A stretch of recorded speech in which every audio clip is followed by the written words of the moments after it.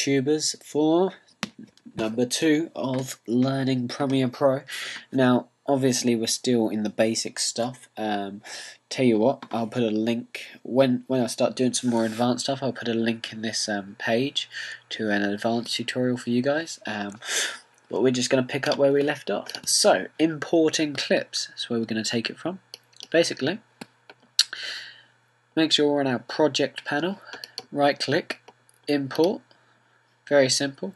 And then on Windows it looks slightly different, but just navigate to your footage. So I'm gonna, um, I'm just gonna grab a random piece of footage, import. Oh, and if you get that, then you've got a problem. Let's try that again, shall we? Import. Tell you what, I've got a folder called footage. I'm gonna go there, and I'm just gonna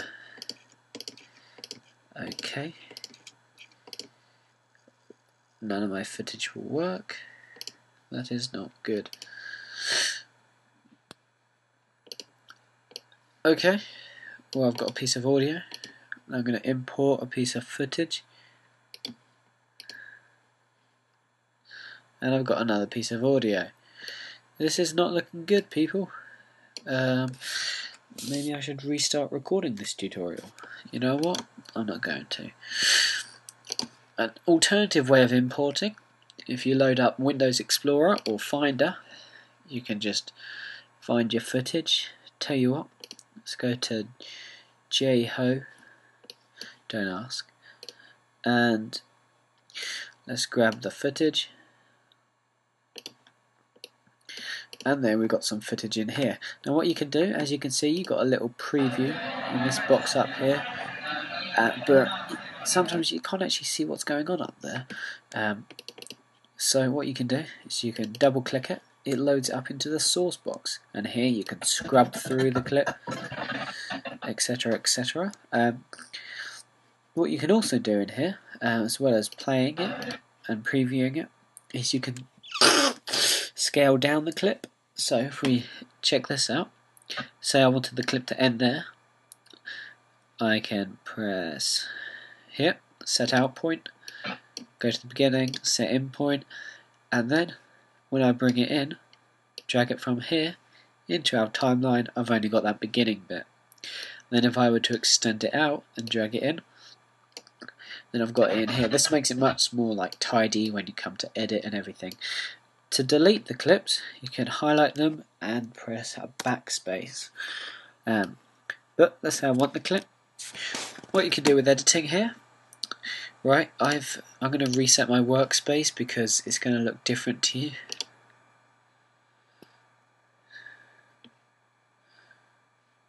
Ah.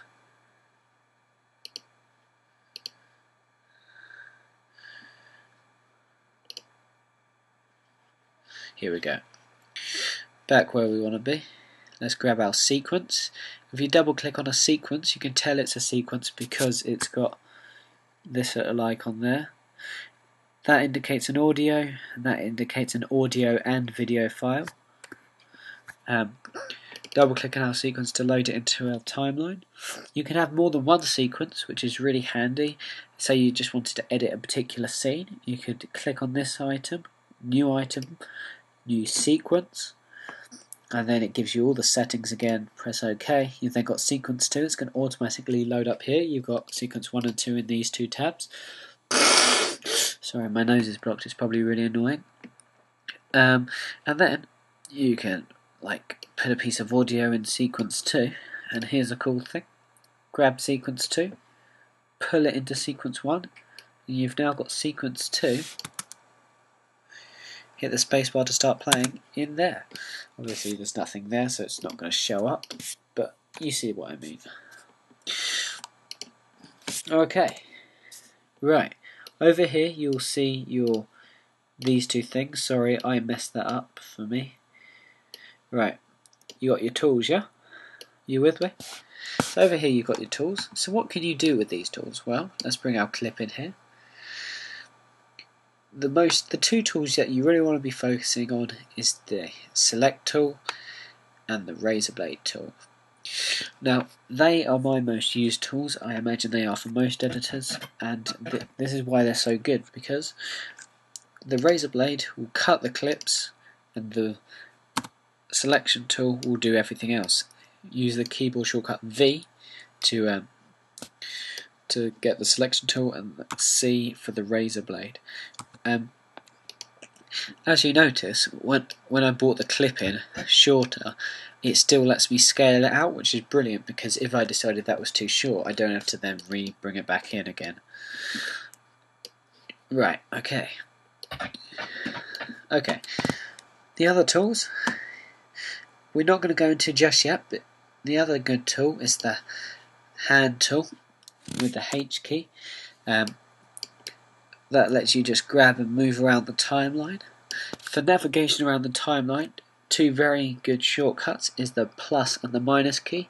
Press the plus key to zoom in, or the equals key, and the minus key to zoom out. Very handy, very, very handy. And then you can use your scroll wheel to navigate across. Okay, so press the V button to go back to the selection hole. If I'm going a bit fast, sorry about that. I'll try and go slower next time. Just say if you think I'm going too fast. And if not, then just go back and watch the video again. Or if you missed a bit, rewind. It's just, I don't want you to get bored. Right, okay. So what else can we do? Well, we can add a title. So how do we do that? Well, here's our video clip.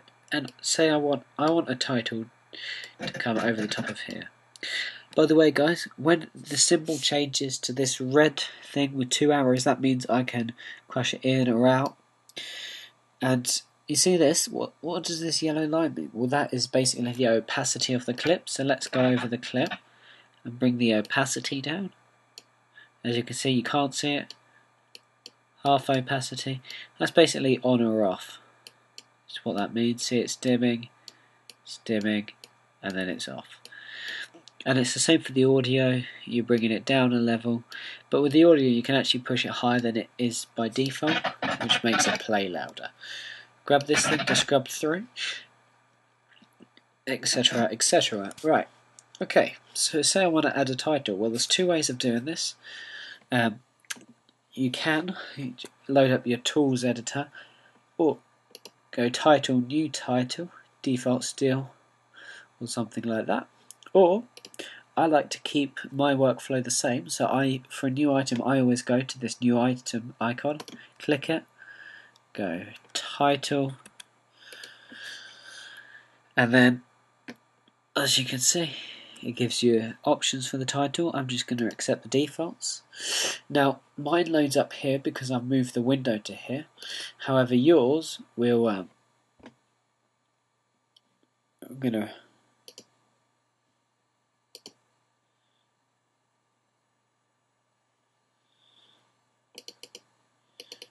This is what yours will be like. You're going to get this floating window, yeah? Okay. So, by default it's going to be on the type tool. You can drag a box that you type into, but it becomes very restricting. So, Command Z or Control Z to undo that. Just click anywhere and start typing. And I'm going to call mine title. You've got lots of controls. I think I can't see that very well, so I've got two options. What I could do down here on the colour. I could make it black, might make it stand out. However, I think that that still doesn't stand out very well. So what I'm going to do is I'm going to make it white, enter to accept that, and down here I'm going to add an outer stroke, press add, make it black, and increase the edge size. And then, I accept that, click on this arrow tool just to come away from there. I've now got a title that stands out really well. Now to make your titles look professional, you don't want them in random scattered positions. Well, you might do, but if you want it to look neat, then you've got these two center options, which are really good. If you press center and center here, then it centers it completely. Now the disadvantage of drawing a box, you see, say I drew a box and wrote title and accepted that and then I press center and center you see it's not in the center and that's because it's centering the box not the title which is why it's always best to just click and then start titling You see what I mean? You can increase the scale.